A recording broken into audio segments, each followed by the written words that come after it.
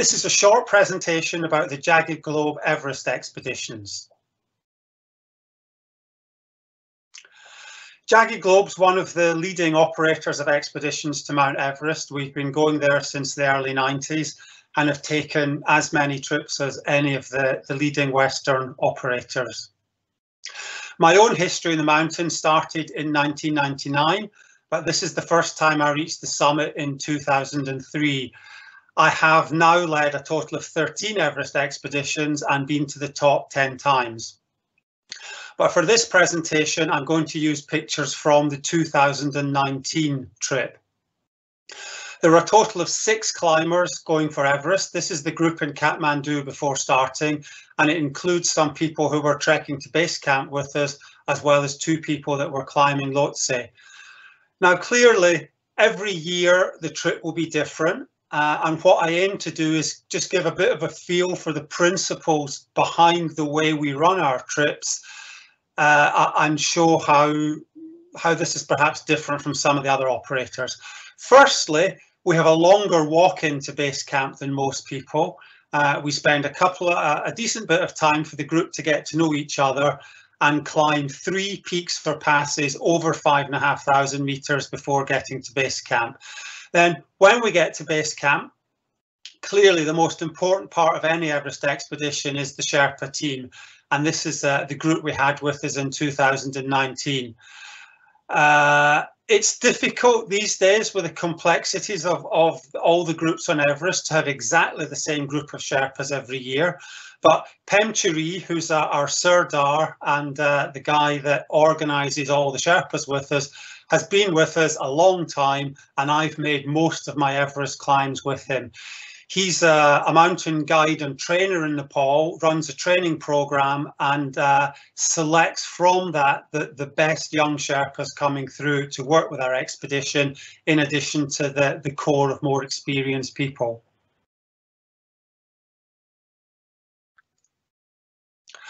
A comfortable base camp is important. Our, our Sherpa crew go there a few weeks before the climbers and make sure we get a good spot with plenty of space for all the, the sleeping tents and the support tents. Similarly, uh, a comfortable, warm dining environment and good food is an essential part of, of every Everest expedition. And I think all, all our climbers appreciate that. We also endeavour to spend a reasonable amount of time uh, practicing skills in the icefall close to base camp before rushing onto the mountain.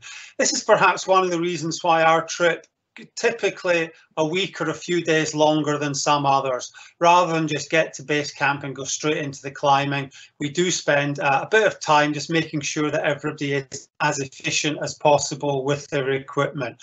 And then we're moving through the icefall I'm not going to talk too much about the specifics of the mountain. Uh, there's a huge amount of information out there about Everest, and I'm sure anybody interested in climbing it will have accessed these different sources.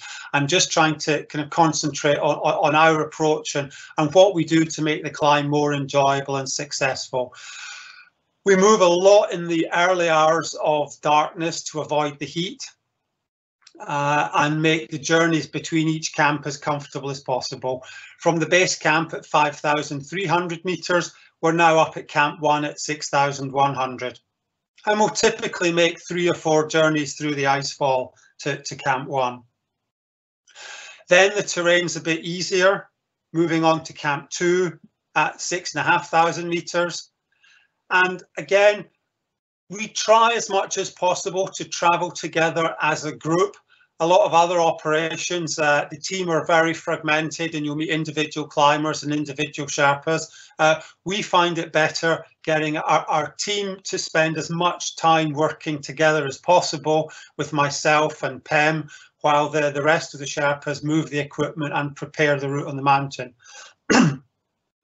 Here we have approaching Camp 3, 7,300 metres on the Lhotse face. And again, a good Sherpa crew with good knowledge of the mountain can find and level out at a safe, comfortable spot at Camp 3. We're using pretty large tents, three-person tents between two to make sure there's enough space for everyone. And here we have moving uh, between Camp 3 and Camp 4, approaching the yellow band on the Lhotse face.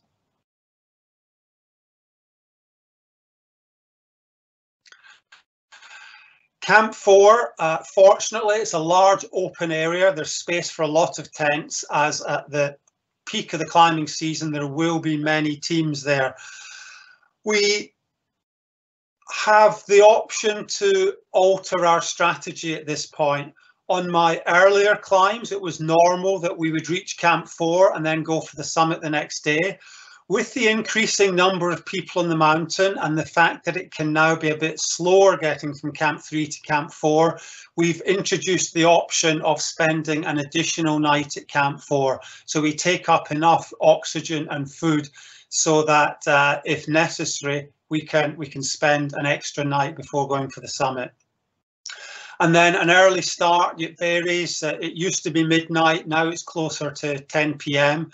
And the, the view of dawn we get will be quite high in the mountain, usually above the balcony. And here we can see the, the, the shadow of Everest.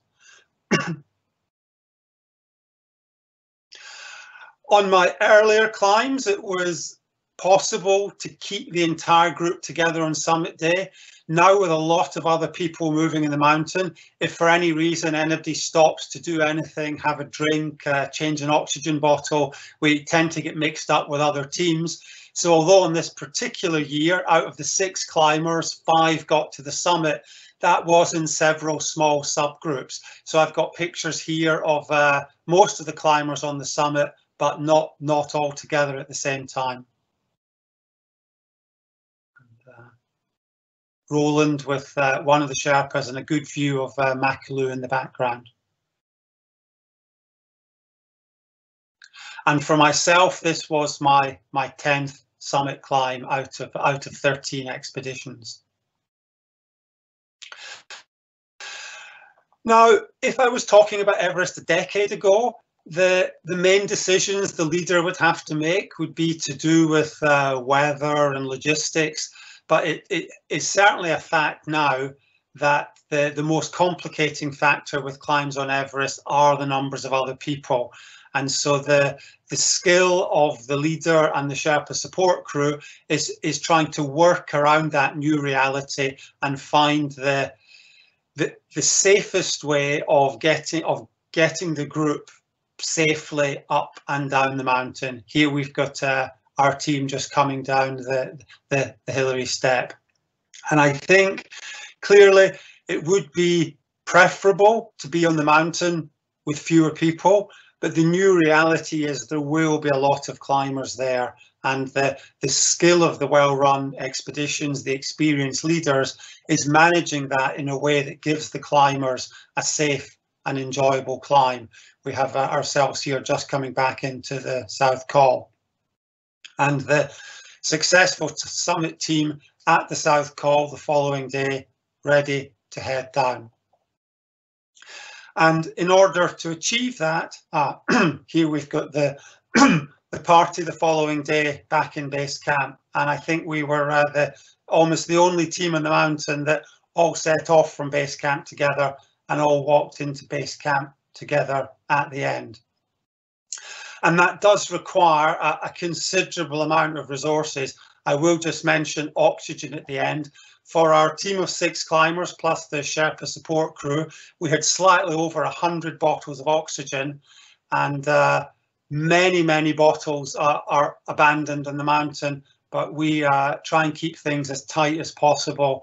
And I think only, only one or two uh, went astray by the time we, we got everything back. So that includes our oxygen supplies and calculations do include enough for, for that extra night on the South Col. And just to wrap up with a, a, a view of the mountain, certainly climbing Everest has changed uh, over the years I've been there, but uh, I think we have a, a good formula and a good crew to manage the, the climbs as safely and as enjoyably as possible.